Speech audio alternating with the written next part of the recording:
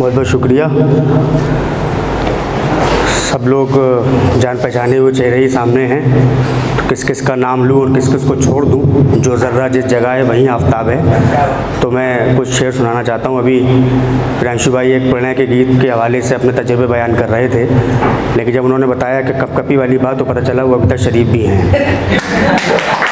खैर modern poetry का एक लफ्ज़ उठा था महफिल की शुरुआत में।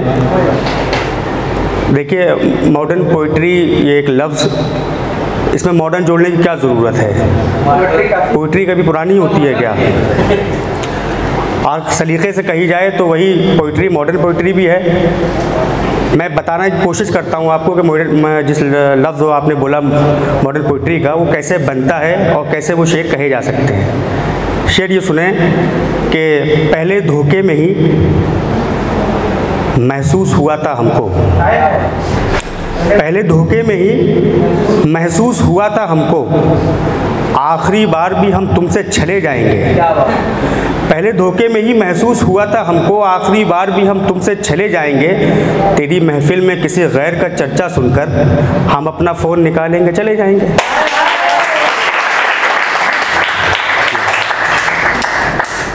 एक गज़ल के चंद अशार हैं, वो भी मुलाजा फरमाया किया है कि वफ़ा की राह में गर्दो गुबार का मतलब। वफ़ा की राह में गर्दो गुबार का मतलब हमें पता है मियाँ इंतज़ार का मतलब। वफ़ा की राह में गर्दो गुबार का मतलब हमें पता है मियाँ इंतज़ार का मतलब। उन्हीं के हाथ में परचम है जंग का इस बार। उन्हीं के हाथ में परचम है जंग का इस बार। जिन्हें पता ही नहीं जीत हार का मतलब।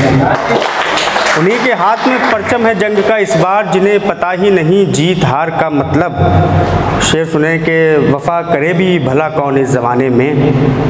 किसे पता है यहाँ एतबार का मतलब? वफा करे भी भला कौन इस ज़माने में? किसे पता है यहाँ एतबार का मतलब? तलाश करते फिरोगे कहाँ किताबों में? तलाश करते फिरोगे कहाँ किताबों में? हमारे दिल पे लिखा है दरार का मतलब। तलाश करते फिरोगे कहाँ किताबों में? हमारे दिल पे लिखा है दरार का मतलब। चार मिसरे और आखिरी सुनाना चाहता हूँ। वो बहुत भाप निकलते हुए ताज़ा ताज़ा हैं तो इसलिए देखना पड़ रहा है।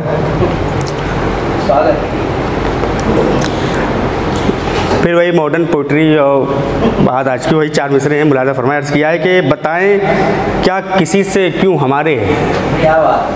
बताएँ क्या किसी से क्यों हमारे खुशी से होंठ झूमे जा रहे हैं? बताएँ क्या किसी से क्यों हमारे खुशी से होंठ झूमे जा रहे हैं? तेरी तस्वीर को फुल जूम करके तेरे रुखसार चूमे जा रहे हैं। तेरी तस्वीर को फुल जूम करके तेरे रुखसार चूमे जा रहे हैं। और एक मतलब दो शेर है, और उसके बाद अहमद तमाम आपकी अर्ज़ किया है कि वफ़ा की, अर्ज़ किया है कि बदन की आग ने जब भी हवा की। बदन की आग ने जब भी हवा की, हवस ने ओढ़ ली चादर वफा की। बदन की आग ने जब भी हवा की हवस ने ओढ़ ली चादर वफा की, जुदा हो जाए तुमसे जान छूटे। मुसलसल हमने ये झूठी दुआ की। जुदा हो जाए तुमसे जान छूटे। मुसलसल हमने ये झूठी दुआ की, तू मेरे सामने हो और दिखे नहीं। तू मेरे सामने हो और दिखे नहीं। मैं कुदरत मान जाऊँगा खुदा की। तू मेरे सामने हो और दिखे नहीं मैं कुदरत मान जाऊँगा खुदा की। बहुत बहुत शुक्रिया। कच्चे बर्तन से। अच्छा अच्छा। जी? कच्चे बर्तन से। कच्चे बर्तन से फूट जाओगे। क्या बात। यानी अंदर से टूट जाओगे। कच्चे बर्तन से फूट जाओगे यानी अंदर से टूट जाओगे। अच्छा एक बात तुमसे पूछूँ मैं? अच्छा रहने दो रूट जाओगे अच्छा एक बात तुमसे पूछूँ मैं। अच्छा रहने दो रूट जाओगे। भाई ने शेर ये कुछ याद दिलाए कि सुबह को शाम सुन के चौक गया। सुबह को शाम सुन के चौक गया। उसका पैगाम सुन के चौक गया। सुबह को शाम सुन के चौक गया। उसका पैगाम सुन के चौक गया। दुश्मनों का हिसाब होना था। दुश्मनों का हिसाब होना था। मैं तेरा नाम सुन के चौक गया। दुश्मनों का हिसाब होना था। दुश्मनों का हिसाब होना था। मैं तेरा नाम सुन के चौक गया। मैं भी कल रावणों के जमघट में।